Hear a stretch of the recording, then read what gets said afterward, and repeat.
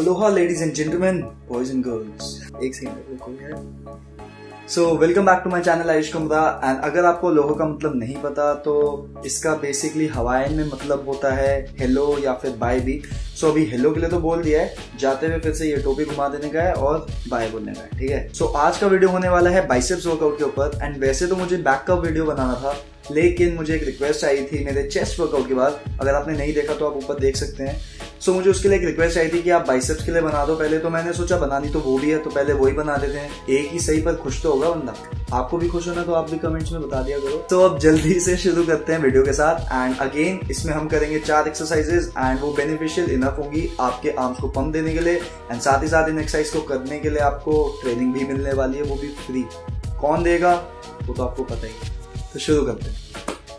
तो पहली एक्सरसाइज होने वाली है हमारी close grip bicep curl and इसको करते हुए आपको ध्यान रखना है कि आप जिगजैग रॉड को लें एंड उसमें अपनी ग्रिप का ध्यान रखें बिकॉज़ ये आपके outer head of the bicep पे फोकस करता है। सो क्लोज ग्रिप लेने के बाद अब आपको इस एक्सरसाइज को करते हुए ध्यान रखना है कि आपकी जो एल्बोज है, वो मूव ना करे, वो लॉक रहे अपनी जगह पे एंड आपकी चेस्ट वो आउट रहे सो so, इससे क्या होगा कि आपके बाइसेप पे अच्छी कॉन्ट्रैक्शन होगी। ऑल्सो आपको जर्क का ध्यान देना है कि आप ना दें बिकॉज़ ज़्यादातर लोग जर्क देने लग जाते हैं जैसे वो हेवी लिफ्ट करते हैं। सो so, वो गलत है तो आप उतना ही वेट उठाइए जितने आपका जर्क ना है आपका फोकस सामने बना रहे।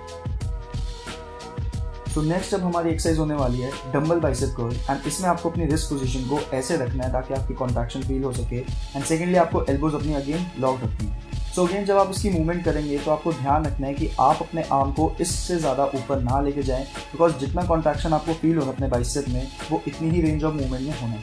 इसके ऊपर ले जाने से कोई फ़ायदा ज़्यादा नहीं होगा एंड आप रेस्ट पे ही जाएँगे सो so बेटर आप इतने पोजिशन पर करते रहें। सो नेक्स्ट एक्सरसाइज होने वाली है हमारी डम्बल हैमर एंड इस एक्सरसाइज को करते हुए आपको ध्यान रखना है कि सबसे पहले जब आप इसे लिफ्ट करें तो आपका आर्म जो है वो थोड़ा अंदर की तरफ़ फोकस हो। सो so, इससे क्या होगा? इससे आपको एडवांटेज मिलेगा आपके longer head of the bicep पे एंड साथ ही साथ आपके फोर आर्म्स पे। दोनों की मसल स्ट्रेन होगी अगर आप इसको सही फॉर्म से करें। ऑल्सो आपको ध्यान रखना है कि कॉन्ट्रैक्शन के टाइम आप जितना हो सके उतना उस वेट को एक सेकेंड के लिए बीच में होल्ड कर सकें ताकि आपका कॉन्ट्रैक्शन प्रॉपर हो और आपको फील भी अच्छा हो।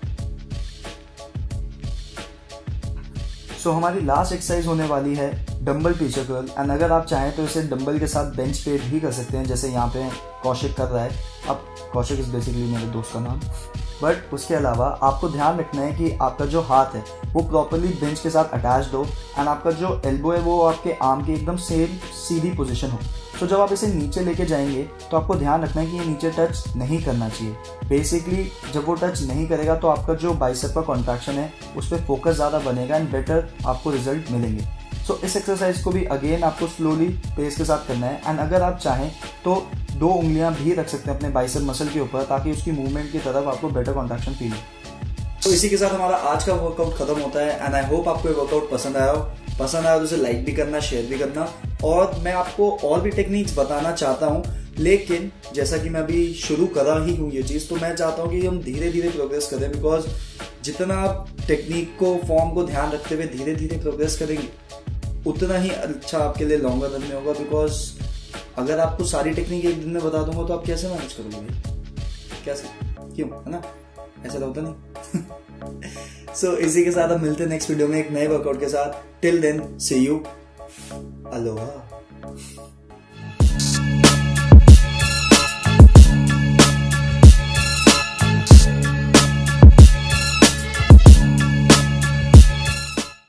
नहीं था मालूम कि वो एक गलत जगह पे आ चुका है। तो सावधान रहें सतर्क रहें. मैं हूँ अनुप सोनी और मिलते हैं आपसे एक अगले एपिसोड में. क्राइम पेट्रोल के एक नई दस्तक के साथ। まだです。